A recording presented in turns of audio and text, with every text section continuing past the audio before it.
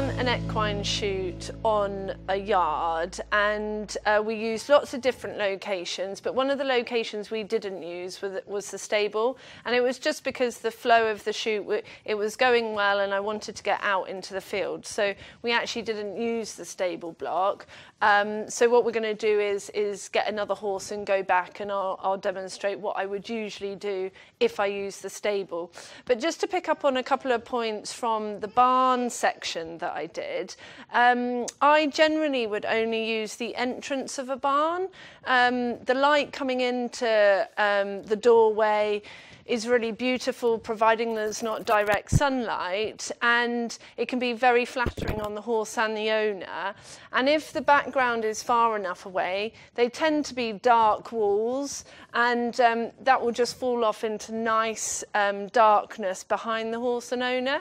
So I, I would tend to shoot there. Now, the reason I don't come in barns very often is because if you look around, and this is pretty much the case on with most equine barns, is that there are a lot of things, head collars, hay nets, tack. It, they, they tend to be quite cluttered. Um, and I'm only looking for a small area um, that, that I can photograph a horse and owner on. But to be honest, there is so much stuff in here that it's just not worth the time and effort to kind of clear it all out so that you get a nice clean background. So I would tend to just shoot in the doorway, use the nice light, and then move on to a stable if I wanted to go inside. Okay, so I've just um, decided which stable is best on the whole yard for us to shoot in. Um, my decision was made by the light. Um, tend to like the sun to be behind um, so that we've not got any bright sunlight going on um, the owner and the horse. And we've just, um, Maria very kindly is just slightly tidying up around the stable for us so that it's as clear as possible. Um, if you see there's a, a name plate on the door, if it wasn't the horse's uh, actual stable, then we could always take that out in post. Generally speaking, the horse's normal stable is fine, but with this one, it was actually in the barn location, and, and that was no good for light. So um, I wouldn't photograph in that one, so we've just picked this one. So um, I'm just going to do a variety of different poses here. So, yeah. come and rest your arms on, yeah, lovely. And he looks perfect. He looks perfect, right. Nice. And just look towards him. Beautiful. So I'm just doing quite a tight crop here. Just look at, um, just literally the stable door opening. It's going pretty black in the background. Gorgeous, Faye. And just put your arm up on his neck. Gorgeous, look at him. Nice. Perfect. Okay, so will he, if we open the door, will he want to come out? Yeah, but I can stop him. Yeah? Yeah. That's all right? Okay.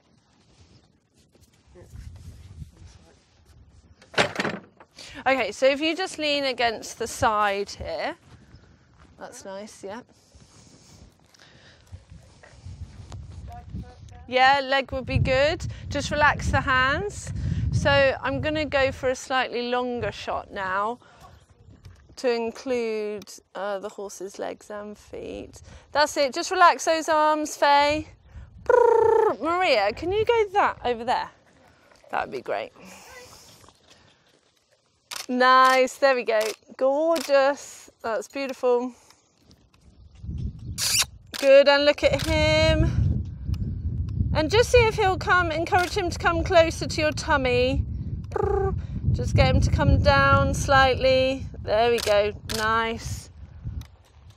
There. Maria, can you just scuttle in the bottom here? You won't be in shot. Yeah. Nice, Faye, there. Yeah, that's nice. Gorgeous. And look at him.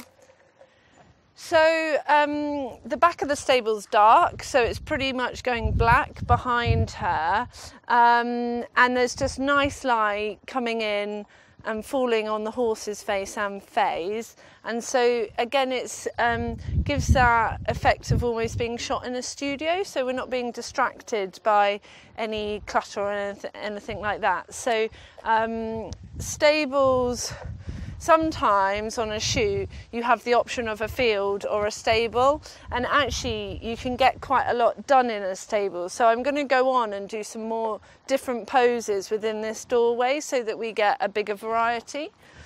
So faye can i get you to crouch for me? Nice and just try and encourage him to come in close. There we go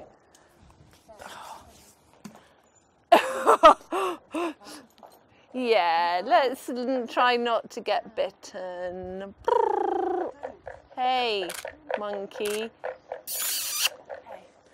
So just stand up for me. So Faye's horse just got a little bit nippy and um, usually that's because we're shaking the nuts.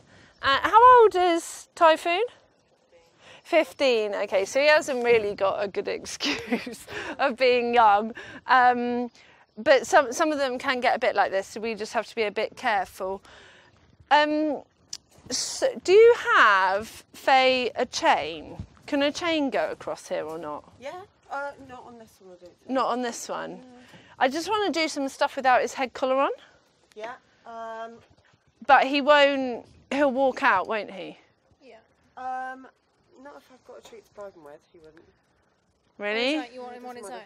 No, ju- with, with your mum, just yeah. cuddling, yeah, no, but just stood there. I don't want to lose him though, Faye. He's fine, honestly. He is bargy, but he'll be fine. He won't be. Well, Maria, do you want to just stand close? Yeah. Okay, so eh, real, yeah, cute and cuddly. You come in nice and close to him. Yeah, gorgeous.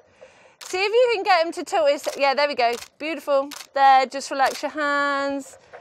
Gorgeous. See if he'll, nice. Lovely. Just poke your head out. There we go.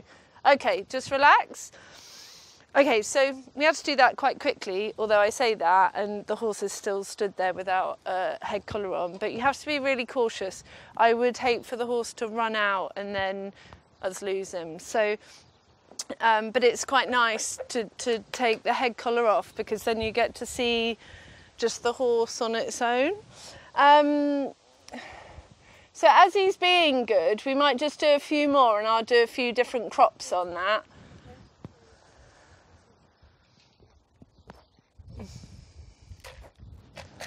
Lovely there, there. Maria, just come closer maybe to him. Nice there. And actually, Faye, can you come the other side of him now?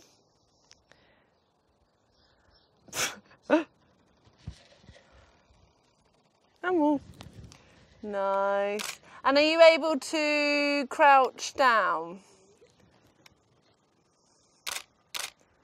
Nice. Can you try? I want him to bend the other way toward so I can see. Yeah, there. there. Yeah. Maria, actually, if you come this side now. There. There we go. Just try and encourage him to stay down and bit cuddly.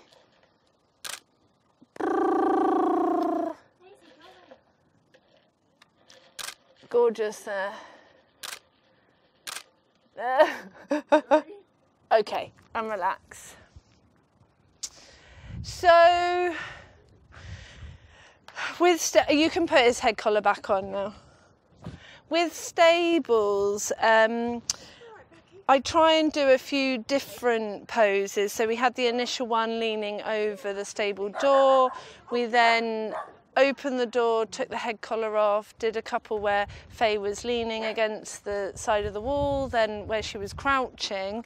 Um, so I've tried to use the stable for more than one set of shots basically, which means we can get quite a nice variety. And so if you are limited on other locations, a stable is all can always give you quite a few images and, and they look quite striking for a client.